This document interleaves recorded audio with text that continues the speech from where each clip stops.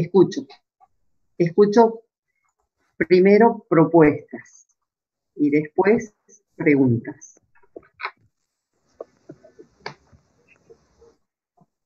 ¿Nadie tiene propuestas? ¿Sobre qué, profe? Y sobre lo... Porque ahí he estado viendo en el, en el chat, en WhatsApp, que, dicen eh, que necesitan otras fechas, que están reahogados con, con las presentaciones. Yo, profe, por lo, por lo, menos, a mí me gustaría que el avance 2, por lo menos, que pudiera subir el lunes, pero a la noche, cosa que en la clase le pudiéramos hacer consulta del avance 2. Yo no tengo problema, es más, yo no tengo problema en pasar las fechas inclusive. Yo lo quiero escuchar.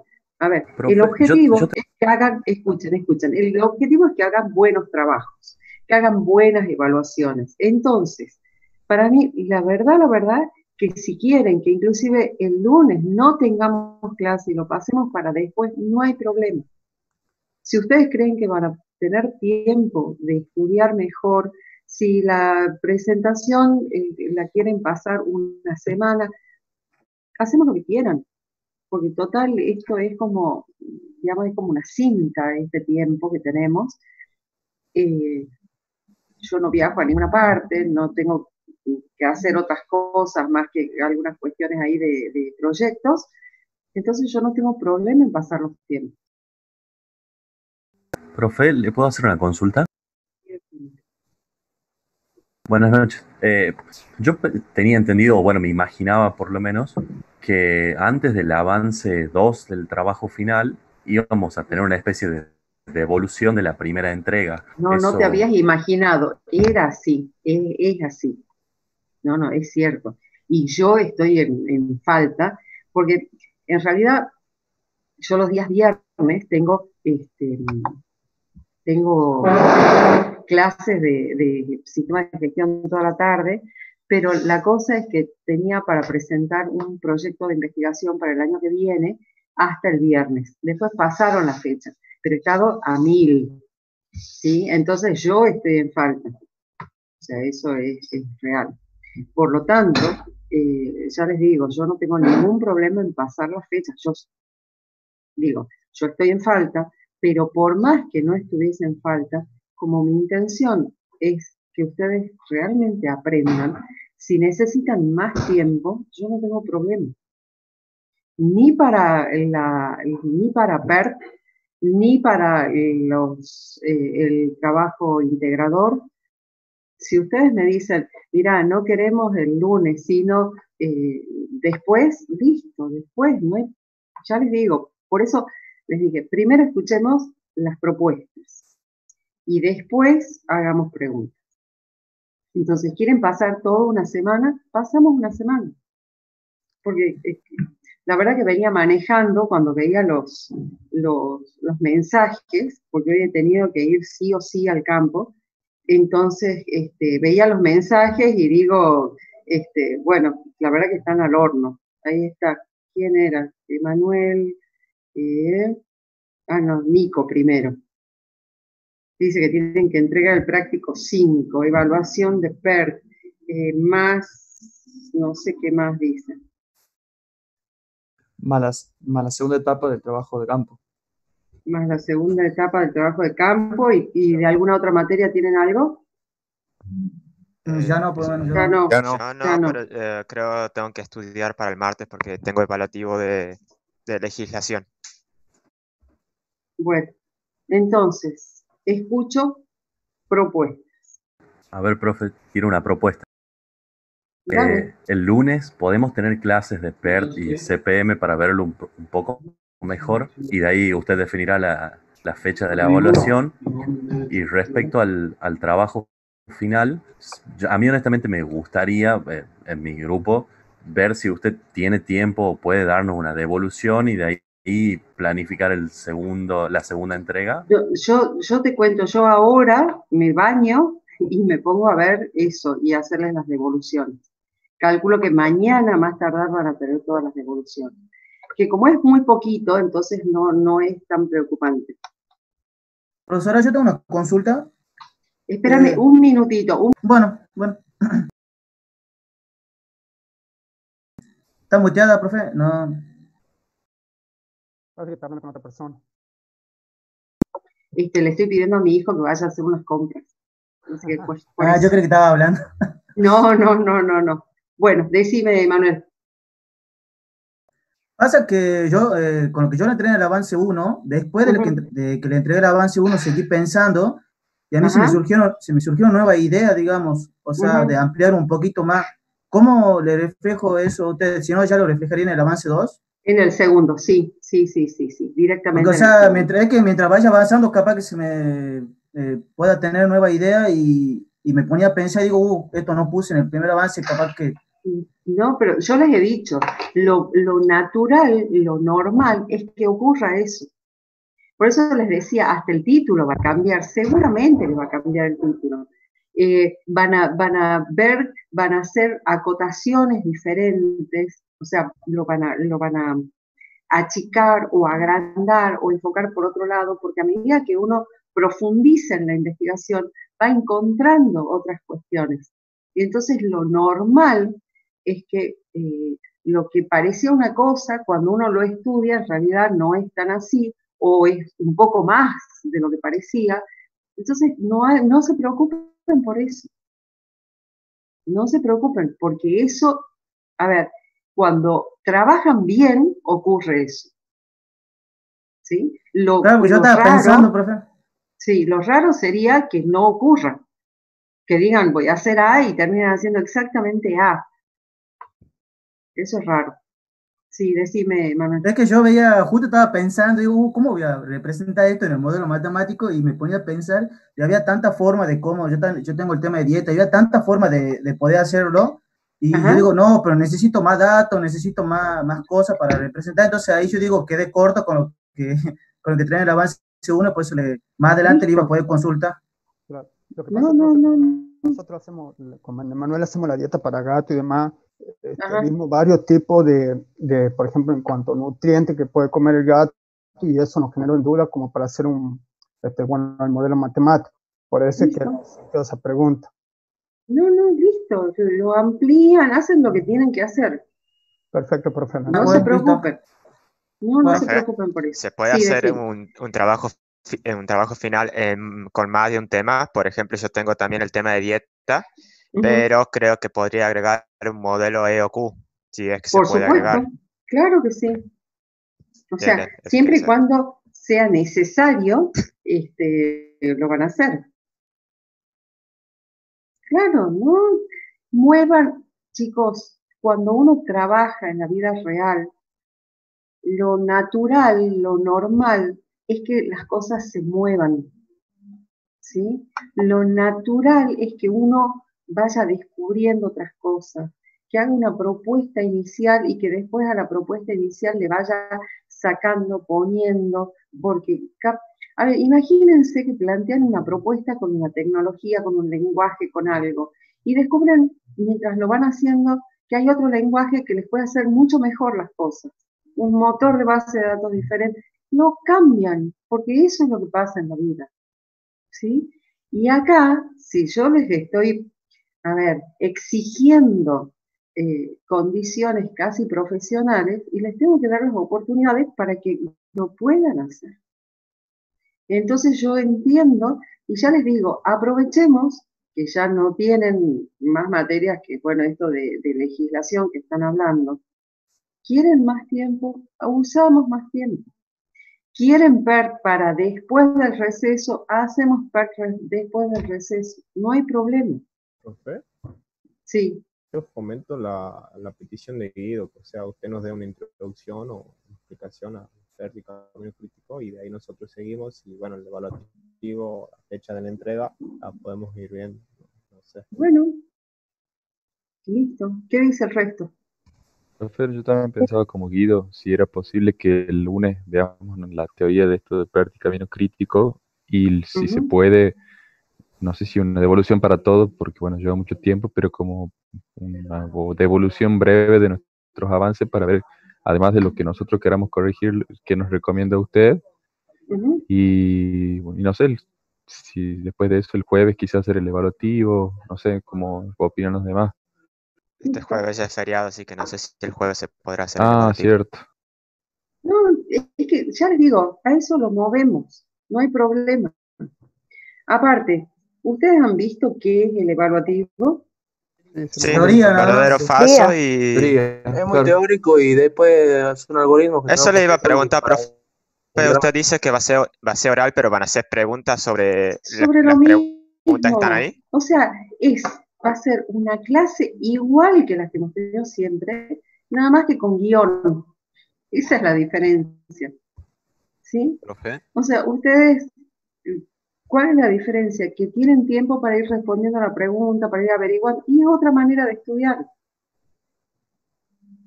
Yo, a ver, eh, quiero que me entiendan. Yo no quiero que estudien de memoria, yo quiero que entiendan. Yo quiero que tengan los elementos, o sea, que sepan buscar. Para mí, que sepan buscar es mucho más importante que que sepan las definiciones de memoria.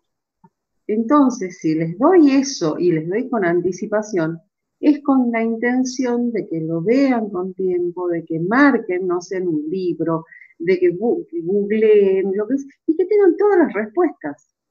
Y, cuando uno hace una pregunta, eh, ¿será que uno la contesta bien? ¿Y será que otro le dice, no, a mí me parece, yo encontré otra cosa? es otra manera de aprender, otra manera de estudiar. No acuérdense que esta materia tiene una metodología diferente. Entonces es todo diferente. Yo soy muy rompe, muy exigente, muy rompebolas, no sé, pero seguro que es diferente la metodología.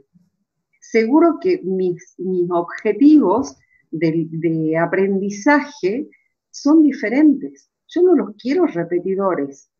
Yo los quiero razonadores.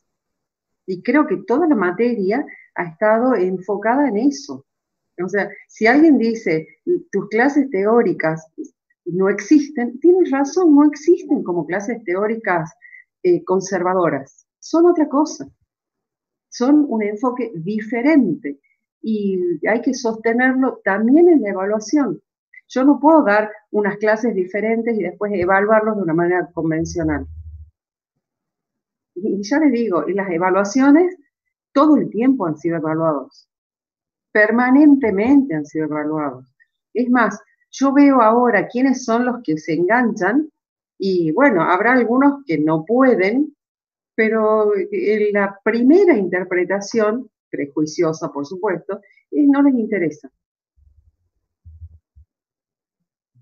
¿Sí? Y bueno, y después sí, si demuestran que saben, que hacen buenos trabajos de integrador, listo, me equivoqué en ese prejuicio, ya está.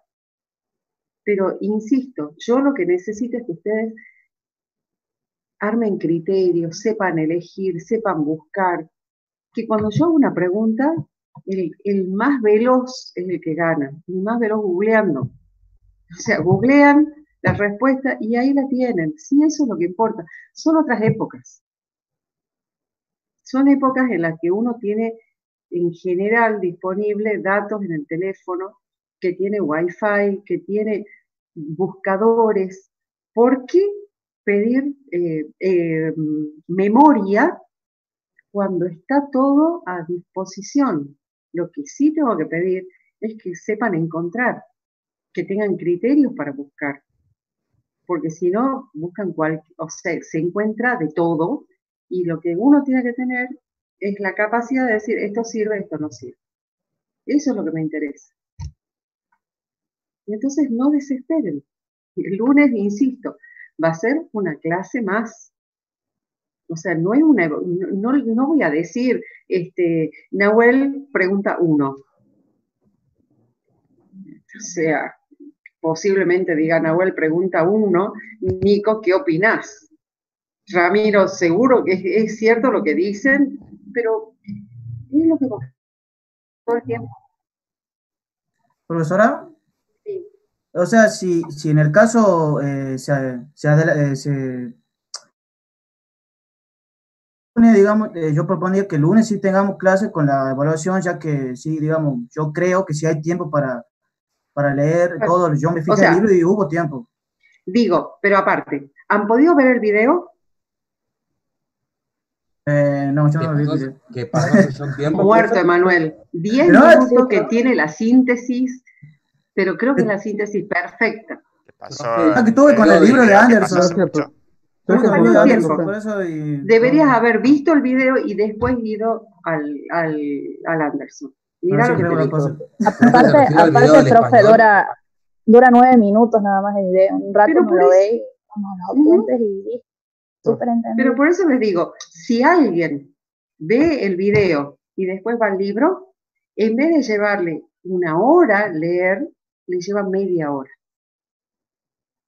Porque el tipo explica tan bien que va así, relacionando todo y después cuando uno va al libro dice, ah, esto era tal cosa, es lo que decía el tipo, ah. Yo les doy atajos, yo no enseño nada. Yo solamente les digo, vayan por acá, vayan por allá, atajos, solamente atajos. ¿Sí?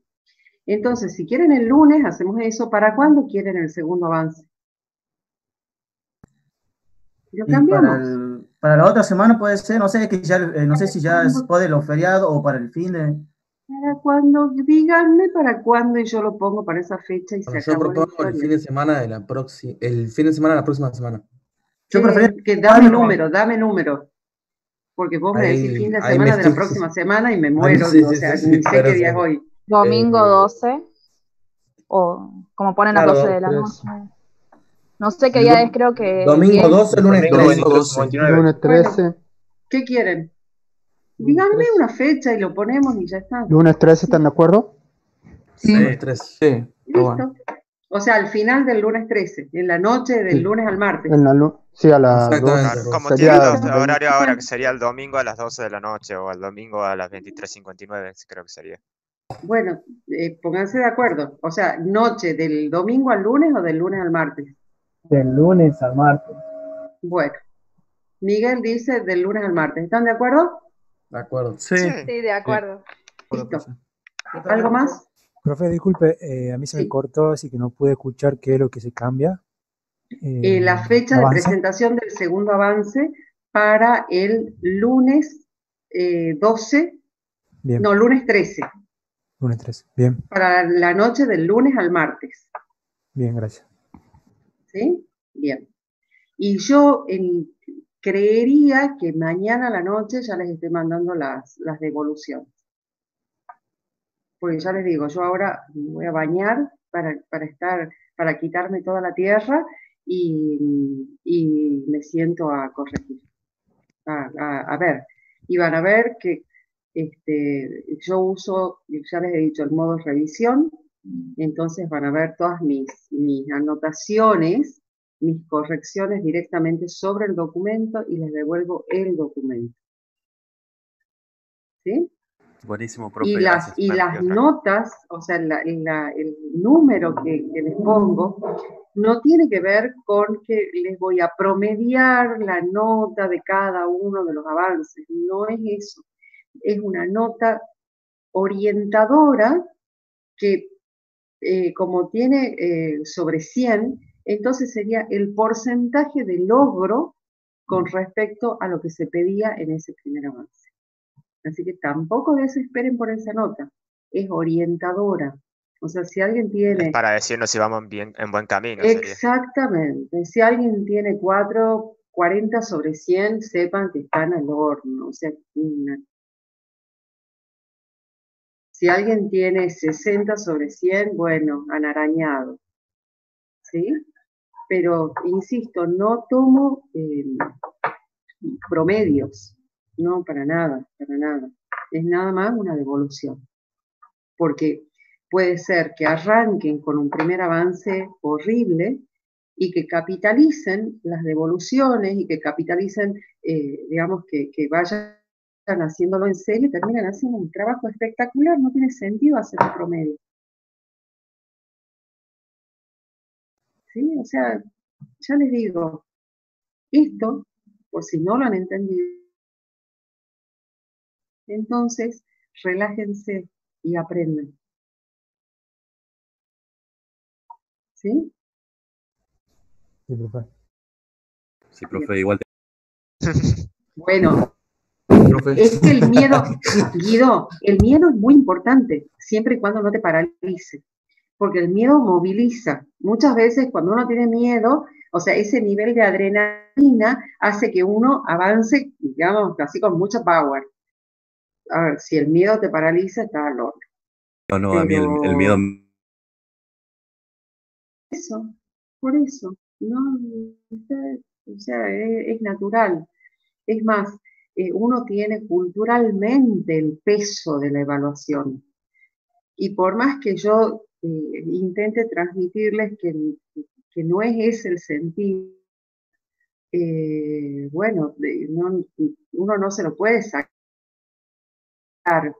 pero bueno, tranquilos, relájense. Así se los digo. ¿Quieren hacer preguntas? ¿O pasamos directamente a, a que me bañe y comience a, Una a pregunta, correr, a- a una pregunta cortita, profe. Sí, decime. Vi un ejemplo yo en, en YouTube sobre PERT y lo que hace él es, este, bueno, realiza el ejercicio de PERT y al final aplica también camino crítico. ¿Se puede hacer, siempre se hace eso o es, es un ejemplo particular? No, es, es un ejemplo. ¿Qué, ¿Por qué se hace, por qué alguien haría esas dos cosas? Primero porque tiene tiempos probabilísticos, ¿sí? Y una vez que define esos tiempos probabilísticos, ya dice lo único que me interesa, porque, a ver, cuando, cuando vos resolves un proyecto aplicando PERT, lo que estás viendo, la información que te da es cuál es la probabilidad de que lo completes en cierta cantidad de tiempo, eh, la varianza te va a decir cuál es la flexibilidad que tenés en, en el proyecto, digamos, en, en tu presupuesto para cumplir con esas actividades. Y en cambio, sí, Sí, ahí tenía una duda yo con la varianza, porque yo estaba viendo en algunos autores, por ejemplo, el Anderson calcula la varianza de las actividades críticas, digamos, y en algunos otros autores, buscando, veo que calculan la, varianza- la, la varianza de cada una de las actividades, la suman, y con eso, bueno, justamente sacan este, eh, si puede durar en 25 semanas, 30 semanas. Esa es la duda concreta, ¿la tomamos solamente la varianza de la actividad crítica o de todas las, este, de todas las actividades, Pasa, profe? claro, pasa que vos cuando tenés, cuando consideras solamente las actividades críticas, lo que estás haciendo es considerar cuál es la variación posible, cuál es la flexibilidad que tenés sobre el proyecto. En realidad, si vos tuvieses, por ejemplo, cinco actividades críticas y 30 actividades que no son críticas, si tomas una, la varianza de todas las actividades, te están metiendo mucho ruido, Ah, ¿sí? Eh, ¿Ustedes eh, tienen noción de cuál es, qué es la varianza? Sí, eh, es un término también de la probabilidad, en el cual vemos cuánto es que se, se aleja de lo que sería, no recuerdo si era el promedio o el valor más estimado, que muchas veces coinciden. A la media, claro. De la Claro, media, sí. de la media. Es un porcentaje. Para arriba o para abajo toma. del medio. Pero, pero, desviación, Ah, sí, porque una la cuadrado y desviación, la otra es lineal. exacto, exacto, ¿sí? Porque cuando yo tengo al cuadrado, digo cuánto me desvío hacia un lado y hacia el otro.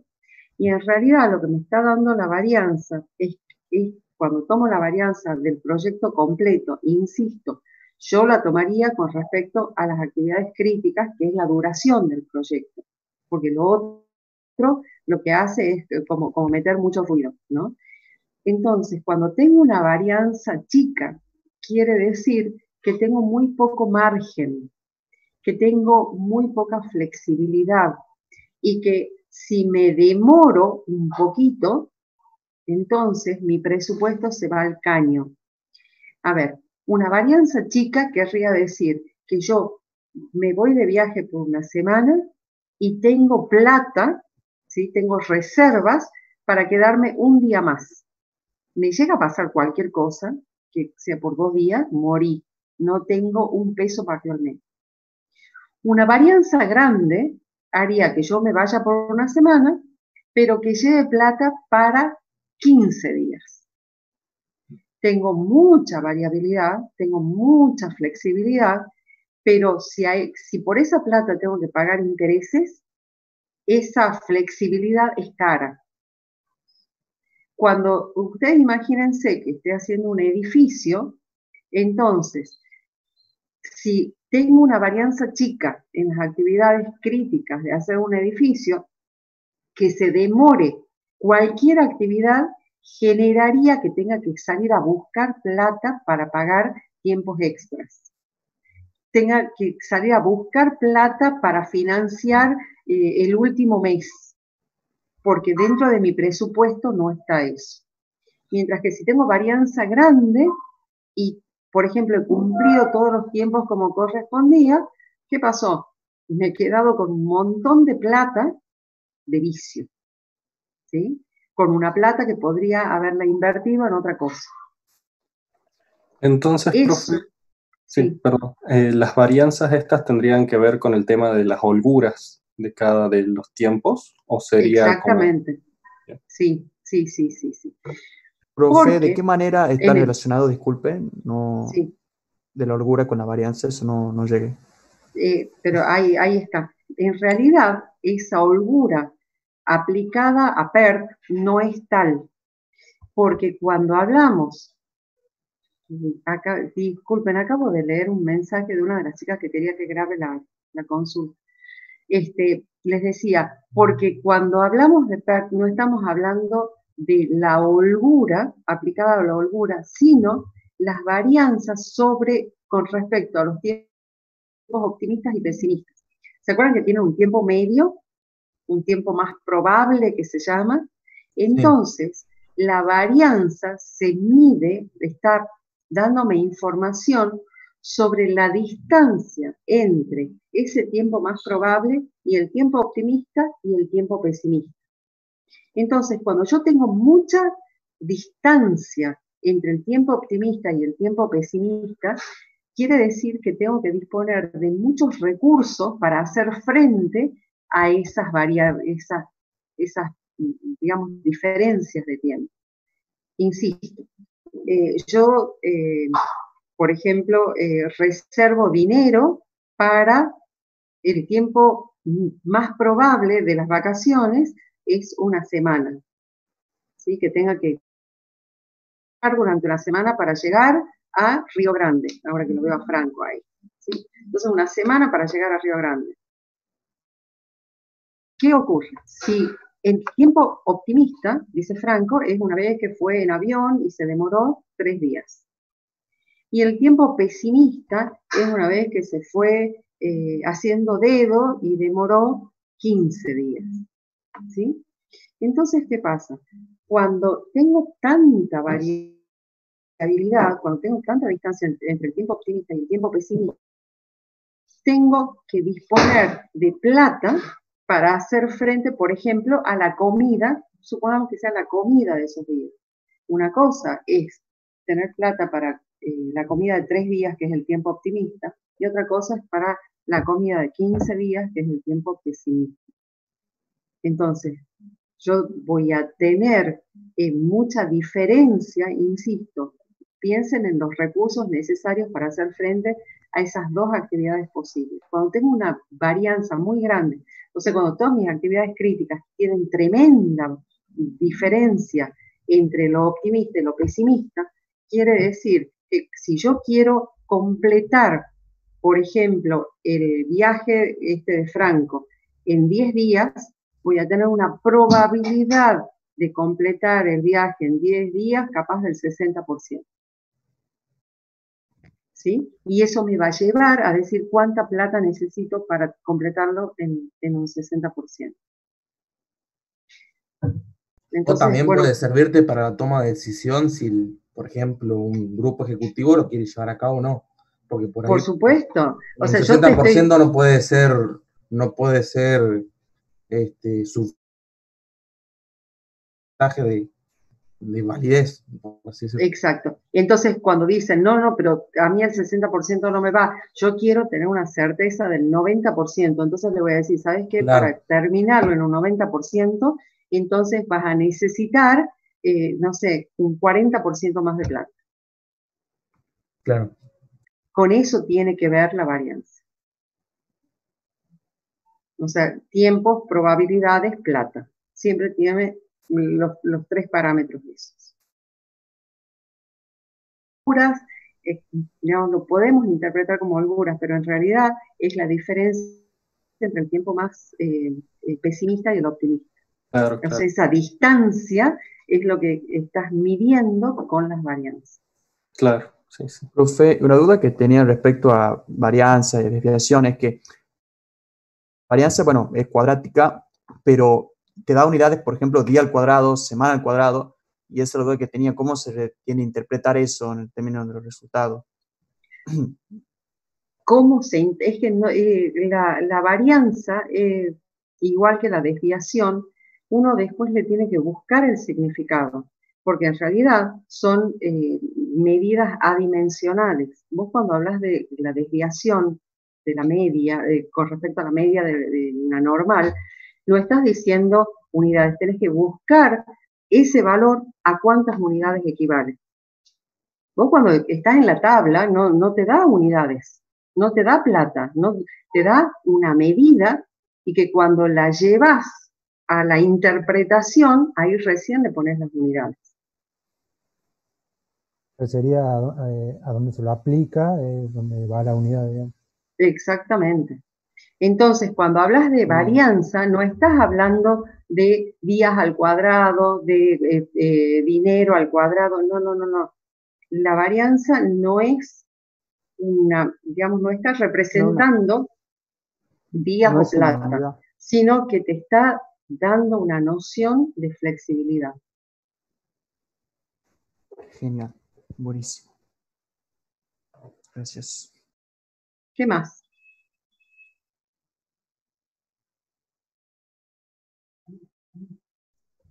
¿Alguien más quiere preguntar algo?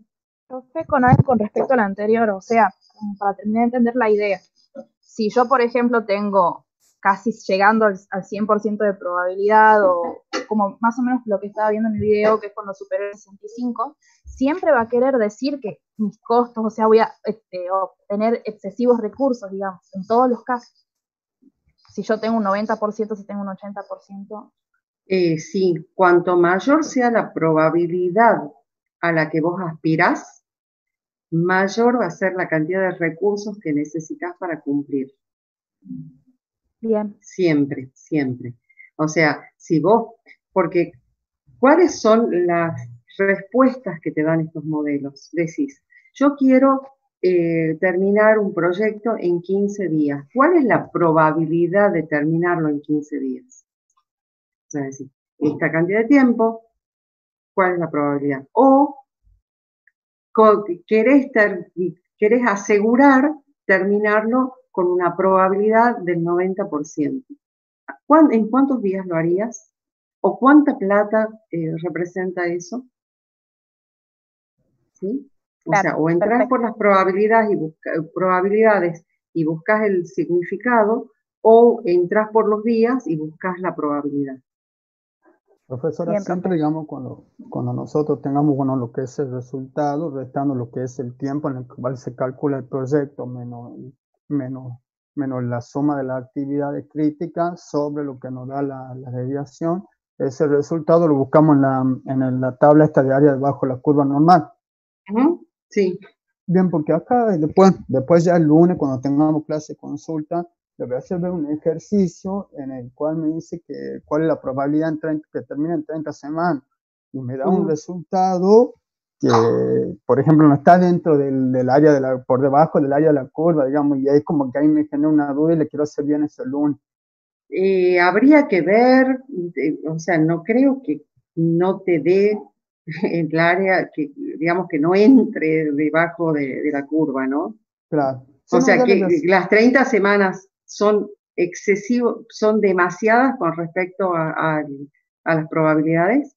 Claro, le explico por qué, porque en realidad lo que es la suma de las, de, las actividades críticas en semana me da, por ejemplo, es, sería 30 es lo que piden que termine el proyecto. 23 semanas es lo que es lo que este, es la suma de las actividades críticas en semana y divido sobre, bueno, en este caso sobre 1,67, que es la deviación. La, la resta y la división me da, por ejemplo, 4,19. Eso 4,19 cuando yo lo busco en la, en la, tablita diaria bajo la curva normal, no, no, no me figura, digamos. O capaz que yo estoy haciendo mal los cálculos o... Estás haciendo mal los cálculos. Puede ser que estés haciendo mal los cálculos. No, no, no, seguro que estás haciendo mal los cálculos. Porque aparte, 4.19 nunca lo vas a encontrar en la, en la tabla.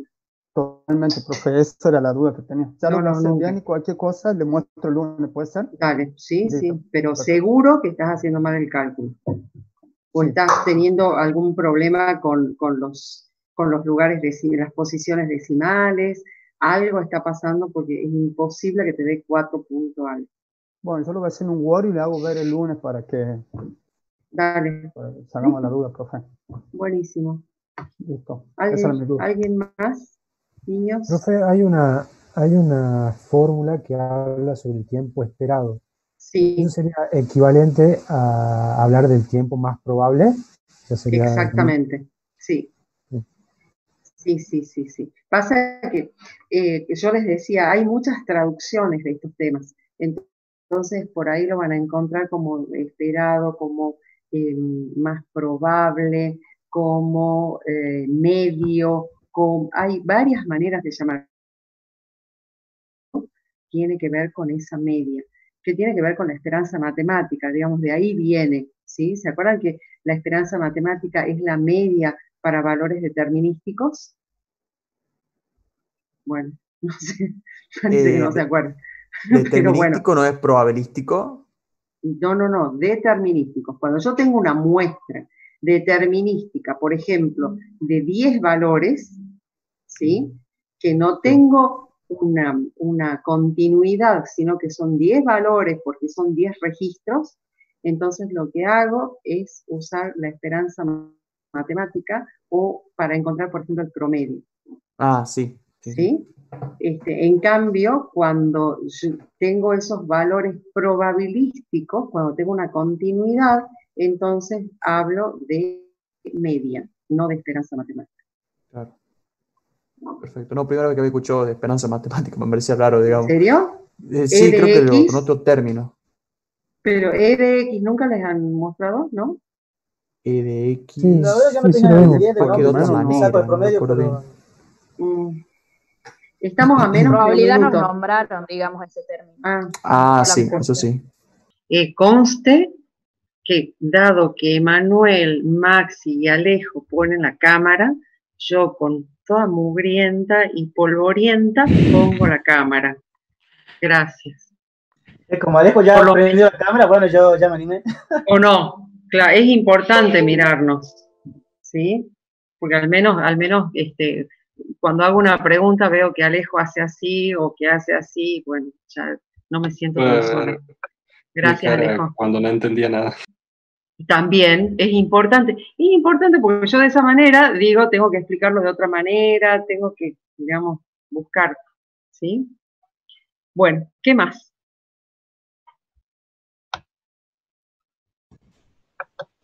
Eh, profesora, como para confirmar eh, unas cosas que había visto.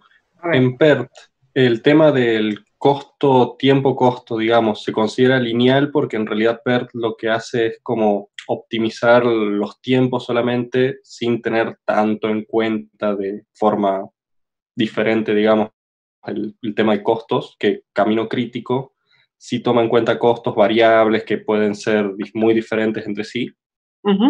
Exactamente así. Bien, bien. Entonces. Este, como, ustedes han visto, se centra ¿sí? en los tiempos. Claro. El manejo de tiempos. Y por, ah, y por eso es que posiblemente después tome costos. Sí, por eso. O sea, tome camino crítico. Exacto. Claro, yo también había visto como que PERT dicen que es más no para proyectos chicos en sí, sino como para más una, una, cosa más rápida, de hacer un análisis más rápido y luego en los proyectos más grandes que se necesitan una infraestructura más grande, ya se usa PERT primero para hacer una estimación del tiempo y de ahí se busca optimizar los costes en base a ese tiempo. Tal cual. Es más, ustedes sabían que primero eh, surgió el modelo PERT y después Camino Crítico, aunque parezca, digamos, aunque nuestra secuencia eh, lógica, la nuestra, diga que podría haber sido al revés, pero primero surgió PERT y después Camino Crítico en la historia. tiene,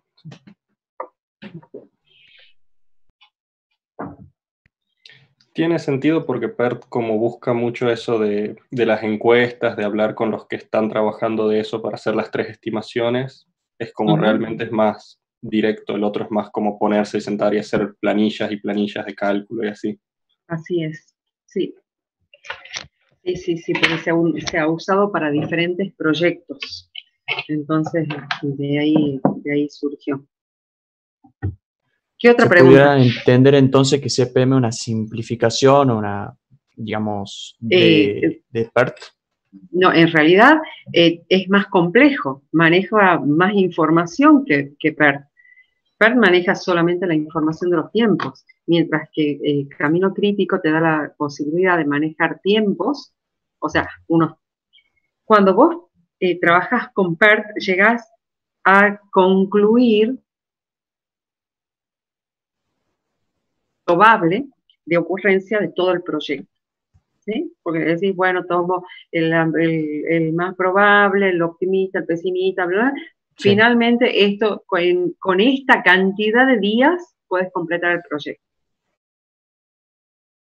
Lo llevas a camino crítico, a donde ya incorporas costos y ya podés identificar las holguras que se presentan en las, en las diferentes actividades.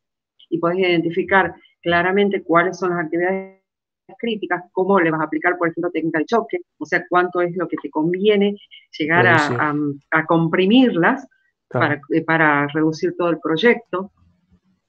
Sí. Claro, yo me he entendido como que es más sencillo en el sentido de que no, involucra tanto la probabilidad con pocas cosas, pero viéndolo así, sí, más sencillo claro. que... Claro, es una cuestión de, manejo de información. Si hablamos de manejo de información, este, es más completo camino crítico. Perfecto. ¿Sí? ¿Alguna otra pregunta, gente? Sí. Sí, una pregunta, pero es más bien general sobre la última parte. Bueno, yo voy siguiendo mucho el libro de la Anderson. eh, sobre lo que sería el costo por reducir, ¿sí? Que viene justo después de PERT. Eso alguna parte como es un poco confuso en el sentido de que eh, se lo ve mucho el tema de los precios, de uso, por ejemplo, de, maquinaria o darle eh, trabajo extra a ciertas actividades que son críticas. Eso, ¿cómo lo tenemos que encargar nosotros al momento de leer? Hace o... Eh, eh, no, no te estoy entendiendo la pregunta. O sea, ¿cómo, cómo leerlo? ¿Cómo, ¿Cómo leerlo? Que habla, por ejemplo, el, bueno, el costo normal, costo por reducir, relacionamos acá tiempo con dinero. Nosotros también enfocaríamos los problemas o enfocaríamos eh, a PERT y a CPM con, con esto o no? Con esto del costo. Claro. Es más, ¿ustedes se acuerdan cómo hemos empezado este tema? Que ha sido con programación lineal aplicada a, la, reducción de los tiempos. Sí. Eso es la reducción de los tiempos que aparece en el Anderson, que es técnica de choque o crash time. en vez de empezar por, el modelo de camino crítico y PERT, empecé por programación lineal aplicada a reducir tiempos y ver hasta cuánto convenía reducir los tiempos para después llevar a eso a camino crítico y PERT. Claro, a pasa que me confunde el tema de la fórmula y todas esas cosas que no hemos visto muy bien nosotros, pero, pero supongo que la simbología nueva no, no debe ser más que eso. Eh, es, una, o sea, es una manera de simbolizar, pero cuando vos tenés eh, cuáles los límites de, de las reducciones, ¿a eso te referís? ¿Hasta cuánto te conviene reducir? Eh, yo lo encaraba más bien por la cantidad de fórmulas que son, hay varias, no sabía cuál era la que realmente, eh, no pude, no sé si decirle importa, son realmente las que, las que vemos nosotros, porque ¿Cómo cuál? por un lado en, Anderson me sale I menos TI prima o KI es igual a CI, hasta ahí vamos todo bien, pero después buscando más información en otro lado me parecía cualquier cantidad de fórmula que digo, esto poco tiene que ver con lo que dice Andrés. Es más, hay muchísimas fórmulas que son idénticas a lo que vos estás hablando, a lo que propone el Anderson, pero que sin embargo usan otra eh, simbología o usan, eh, digamos, usan otras variables o usan otras relaciones entre las variables.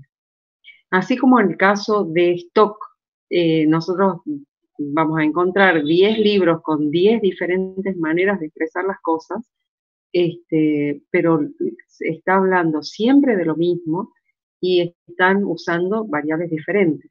Por eso les decía la importancia del criterio, la importancia del razonar, de, agarrar ese M y pensar qué es este M, qué, qué, significa. Y este M en otro, autor le llama, no sé, N, le llama L, le llama cualquier otra cosa. ¿Qué significa? Y entonces posiblemente ahí te des cuenta que están hablando exactamente de lo mismo, nada más que como uno eh, es eh, español, habla de M para media, eh, el otro habla de, no sé, de algún otro término, ¿sí? Para referirse a lo mismo. Entonces hay que razonar las fórmulas. La verdad que no sé de cuáles fórmulas me estás hablando concretamente en este momento. Si quieres las vemos y ahí te digo. No, era justamente eso, que había encontrado terminología distinta. Por ejemplo, la K que nosotros tenemos acá para representar, eh, no recuerdo creer que, era, si era costo de comprensión o algo así. Eh, la otra veo identificada como Q, como, no sé, no recuerdo bien, pero sí había que había fórmulas distintas con distintos nombres, pero parece que con lo que usted me acaba de decir ya me quedo más tranquilo. Pero por eso te digo, tenéis que eh, ver qué es lo que quiere decir. En el caso de inventario, ustedes tenían, eh, por ejemplo, en algunas bibliografías, eh, el costo de ordenar le llaman K, en otro le llaman CO, en otro le llaman, y así va a tener montones de, maneras de llamar. El lote económico a unos le llaman Q óptimo chica, otros Q grande, otros Y, otros... Y vas buscando y vas encontrando diferentes maneras de llamarlo. Insisto, pensar. O sea, uno lee una fórmula, razona la fórmula y recién la valida.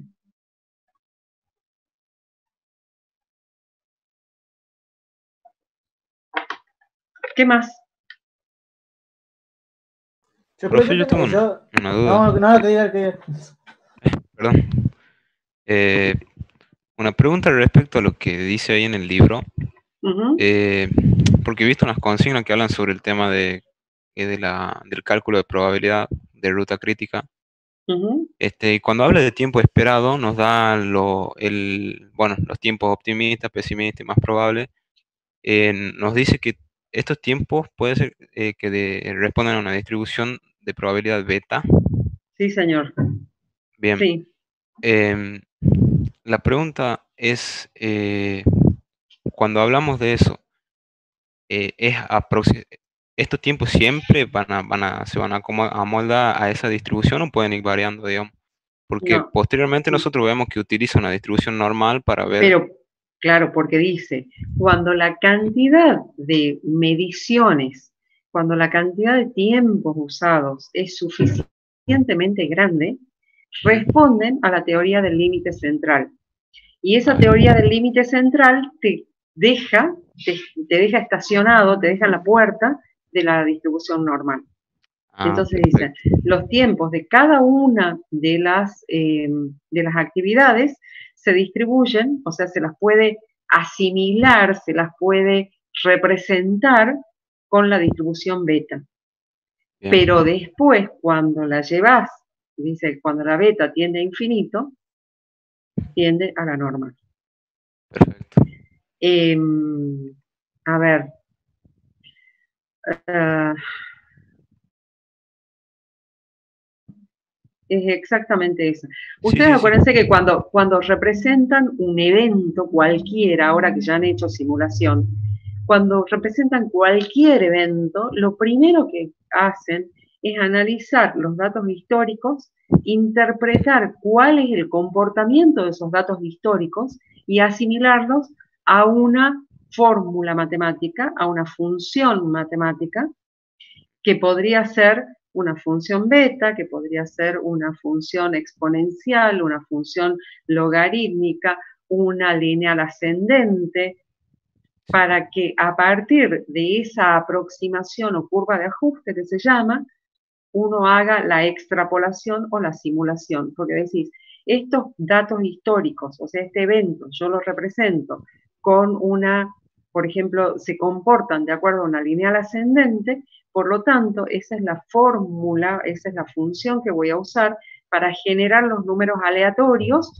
que representen comportamientos futuros o que simulen el comportamiento de ese, de ese evento. en este caso, ver si, sí, he entendido cómo es.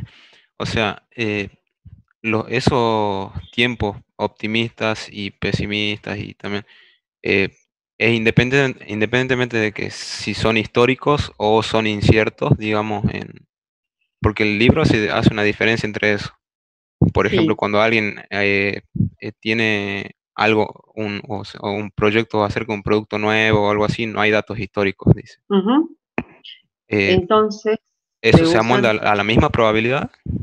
Sí. ¿A la misma distribución? Bien. Sí, sí, sí, sí, porque dicen, bueno, yo no tengo datos de esto porque es algo nuevo, pero se parece a... Ah, bien. ¿Sí? Tal cosa. Por ejemplo, si fuese la organización de una fiesta. Vos a la fiesta la vivís por única vez, pero quien organiza la fiesta, a pesar de que son siempre fiestas diferentes, dicen, bueno, en general, o sea, de, de toda mi experiencia, dice, eh, pedir los permisos me ha llevado entre uno y tres días. Eh, eh, decidir que la novia se decida por la torta llevó entre dos días y una semana elegir. Eso es lo que va poniendo. No se trata de capaz de, valores em, tabulados, ¿no? De datos históricos registrados, pero puede hacer una aproximación. Bien, bien, bien, bien. Se entiende, profe. Y, por eso dice lo, lo mejor que pasó, lo peor que pasó y en el medio lo más probable. Lo más probable. Bien. Profe, eh, yo le quería preguntar sobre, hay una, duda que tuve, digamos, de lo que estaba leyendo, es que, digamos, el, que hablaba que el proyecto, el tiempo eh, total del proyecto dependía mucho de la ruta crítica, más larga, o sea, de la ruta más larga. O sea, si yo calculaba el tiempo de la ruta crítica, ¿no? O sea, no hacía falta calcular los tiempos de la otra actividad, por ejemplo, que las que no son críticas. Sí, las necesito. Solamente necesitaba la ruta. Las ah. necesito, a ver, y yo los voy a llevar a programación lineal. Yo puedo prescindir de las, de las restricciones no vinculantes o no activas. No. no, no, se acuerdan qué era? Sí, profe, sí podemos.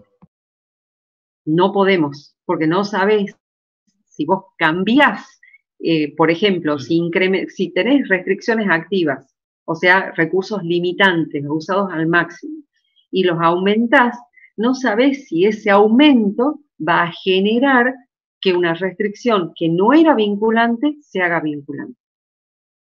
O sea, vos no sabés en qué momento eso que te sobraba deja de sobrarte. Lo mismo pasa con los tiempos. Vos no sabés en qué momento, por ejemplo, ojo, y te estoy hablando de que has identificado las actividades críticas. Entonces dijiste, estas son mis actividades críticas sobre las que tengo que cuidar, bla, bla, bla, bla. Hay un problema con una actividad crítica en la realidad y termina siendo que el camino crítico es otro, porque esta actividad que tenía que hacerse en tres días eh, estaba compitiendo con una que se hacía, por ejemplo, en dos días. O sea, el otro camino tenía un buffer, una holgura de un solo día. Si se me demora, si me demoro en la actividad crítica, inmediatamente surge el otro camino también como crítico. Entonces yo no puedo prescindir de eso, las tengo que tener a todas bien identificadas, cuestión que cuando se vayan agotando los tiempos de holgura, por ejemplo, es más, si una actividad no crítica por alguna razón se demora, ¿sí? esta actividad que tenía un día de holgura se demora, termina siendo crítica esa también. Entonces las tengo que tener a todas y con todos los cálculos para todos. Claro, yo pensaba que era de la ruta más larga, digo, pero quedo con la no crítica ya y ahí me confunde. Sí, sí, sí. No, no, las tengo que tener a todas porque no sabes en qué momento esa, eso que es no crítico se hace crítico. Te estoy hablando de eh, cuando se ejecuta. Acuérdense que cuando yo ah, eh, tomo estas, estas técnicas, tengo las técnicas que me van a servir para proyectar, para programar, para hacer una estimación de recursos necesarios para cumplir las actividades. Entonces, eso lo hago, por supuesto, antes de empezar el proyecto. Pero después, durante la ejecución del proyecto, me sirven para ir monitoreando, para decir, ajá, esta actividad se terminó en el tiempo que correspondía, por lo tanto, se mantiene la programación. Cuando esa actividad, digamos, una actividad determinada, no se hace en el tiempo programado, este, este método, estas técnicas me dan la posibilidad de hacer una reprogramación, por ejemplo, de decir, eh, tengo que poner más plata, más recursos en la actividad siguiente para acortarla. Y que yo pueda finalmente cumplir este, la planificación, o sea, cumplir, por ejemplo, el tiempo de entrega.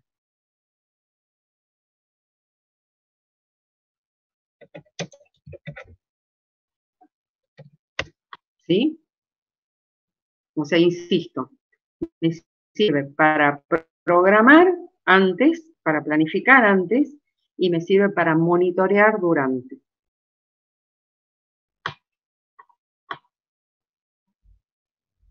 ¿Algo más, niños?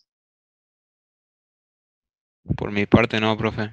Eh, una sola pregunta más, profe. El lunes se ve esto de, de la evaluación de PERT. Sí. Bien. O sea, ya les digo, va a ser una clase, a donde voy a preguntar. Y yo, a ver, Sergio, no sabes la cantidad de marquitas que tengo asociadas con vos y con cada uno. O sea, que no les preocupe esto, sí, siempre han estado evaluándose. Bien. ¿Mm? ¿Son buenas, profe, o no? Los dejo, los dejo tranquilos. yo les dije el primer día, yo los evalúo todo el tiempo. Es más, este, ah, ya este, les reconozco las voces cuando hablan, no sé que ni siquiera de todos, y, prácticamente de todos. O sea, eh, yo tengo mi pantalla, ustedes saben que cuando uno está compartiendo pantalla, ve a lo sumo eh, unas cuantas caritas, unos cuantos nombrecitos. Hay muchos, por ejemplo, ahora no caben todos en una sola pantalla, hay algunos que están en, la 2 que no veo. Eh, y si alguien habla, yo generalmente sé quién está hablando. ¿Sí? Hemos estado conviviendo cuántas horas. Sería el colmo que no los conozca ya. ¿Mm? Ya nos juntamos los sábados a la noche y todo. Pero totalmente. Así es. Bueno, gente, ¿terminamos acá entonces? Sí, profe, lo voy a bañar? profe, gracias. A ver. Muchísimas gracias. Dígame que era una dígame que era una broma, que se iba a poner a ver ahora los trabajos, profe, no, no era para apurar, si lo entrega durante la semana, cuando sea, no, no hay apuro. No, pasa que yo les tengo que hacer las devoluciones. Ya les digo, si yo exijo, si yo les exijo presentaciones, tengo que devolver lo que prometí. A pesar de que si fuese este, eh, pinche tirana, eh, diría, acá la que manda soy yo y quiero hacer otra cosa. No, no, no. Yo, yo sé que estoy en falta. Digamos, si, si me hubiese portado bien, me tendría que haber dedicado el viernes en los ratos que tenía, en vez de al proyecto ese, que encima han postergado la fecha, eh, me debería haber dedicado a, ver los, los, los este, las propuestas de ustedes. No hay drama, profe, nosotros somos buenos, véalo durante la semana. Tranquilo el fin de semana aquí, me parece. listo. su tiempo, profe, hágalo tranquilo, no se preocupe. Bueno, listo, muchísimas gracias. Nos vemos entonces el lunes. ¿ah? que descansen. Dale, que estén muy bien. Gracias. Hasta luego.